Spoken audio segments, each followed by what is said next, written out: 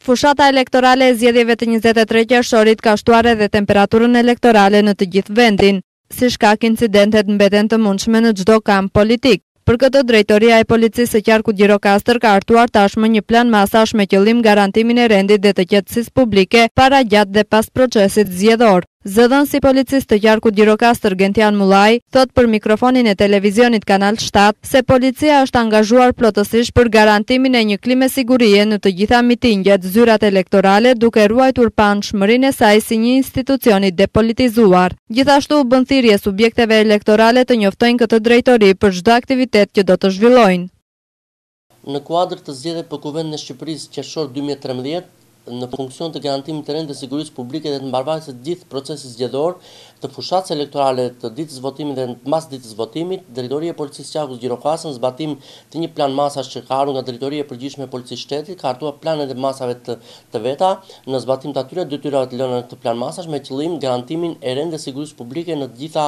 e mitingjet do që do të zhvillojnë subjektet politike në në ruajtjen e rendit dhe sigurisë publike në në sallat e mbyllura për ruajtjen e të gjitha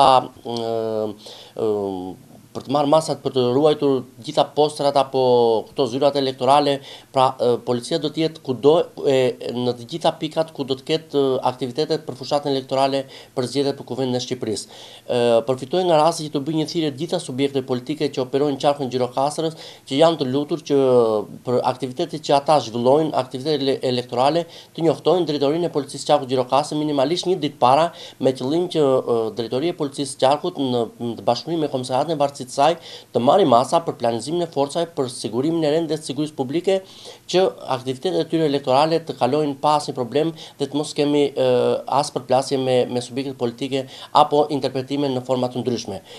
Ne garantojmë të gjitha subjektet politike se drejtoria e policisë Qarkut Gjirokastër do të jetë totalisht në zbatim të ligjit dhe vetëm të ligjit do jetë e paanshme, do të garantojë rend dhe sigurinë publike për çdo subjekt politik, për çdo takim elektoral që do të zhvillohet dhe do të jetë garante e gjithë këtij procesi për sa i përket detyrave funksionale që ka policia. Drejtoria e Policisë Qarku Gjirokastër përveç angazhimit dhe masave të marra për sigurimin e rendit dhe qetësisë publike të aktiviteteve elektorale në periudhën zgjedhore, ka marrë masa dhe për parandalimin e veprimtarive kriminale dhe sigurimin e banorëve të qarkut. Ndërkohë në njëzet e tre qershor çdo qendër votimi, në nisje dhe gjatë procesit të votimit, do të jetë e monitoruar nga forcat e rendit. Eksperienca e viteve të kaluara ka treguar se edhe pse situata është paraqitur e qetë, incidentet nuk kanë munguar.